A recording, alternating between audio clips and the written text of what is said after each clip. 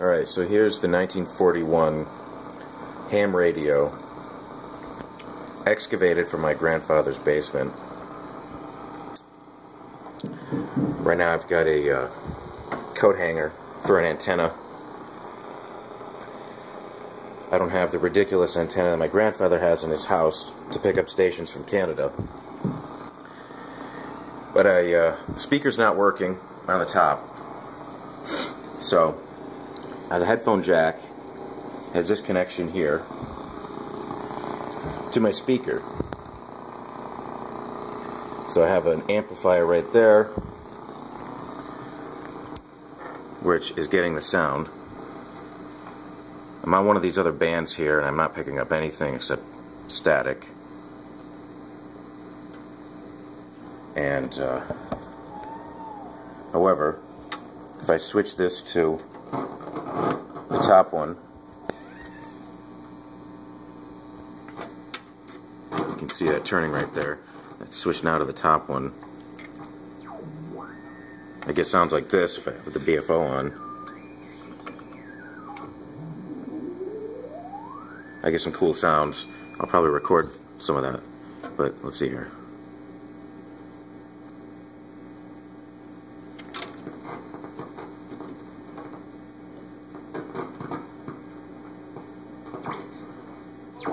I should shut that off.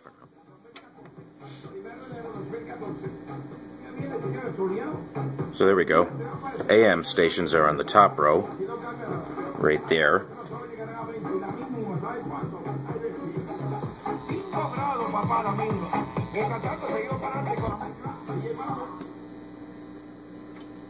Kind of like that music.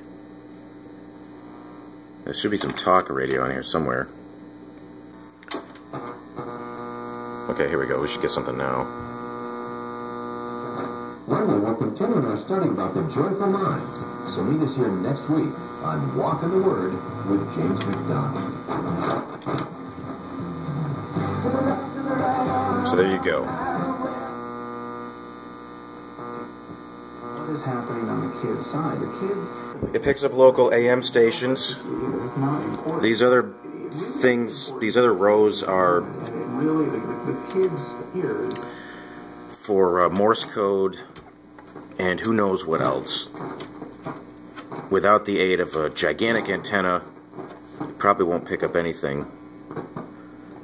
Although I'm still exploring, and I will see what I can do to connect a uh, more powerful antenna. If I can put something together or find something inexpensive and see what can be picked up. But I remember when I was a kid, I used to hear all kinds of Morse code, all that did it dot dot did it stuff, all those high pitched beepings and uh, whatnot, as everybody was using their little Morse code doodads to communicate with each other. And occasionally I'd hear a pirate radio station.